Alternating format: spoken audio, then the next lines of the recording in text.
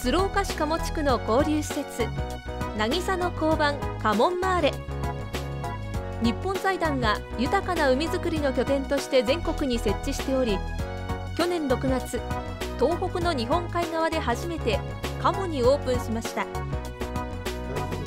このほどオープン1周年を記念してセレモニーが行われ10万人目の来場者に記念品が贈られました。おかげさまで本当に今日あの10万人達成しました。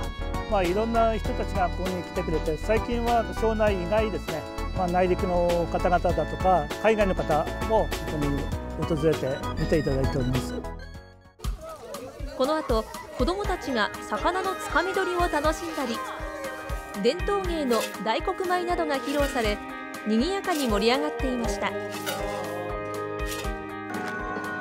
まあ、人が集まれるいい場所になってくれたらいいなと思います海に入ったり人がやっぱり来れて楽しめる場所になってほしいなと思います。庄内浜渚の地域資源が交流する板所。庄内浜の食文化海洋教育地域資源の情報発信をテーマに楽しい海づくりを目指します。まだまだ海に親しむ機会がもう本当にこの30年間で海水浴する人も3分の1くらいまで減ってしまったとか海に親しむ機会が少なくなったというのは実態だと思います。なかなか海まで来る機会がないとかというようなことだと思うのでこういう拠点をきっかけにしてそういう遊ぶ場だとか学ぶ場をまあ多く提供していければいいかなと思っています。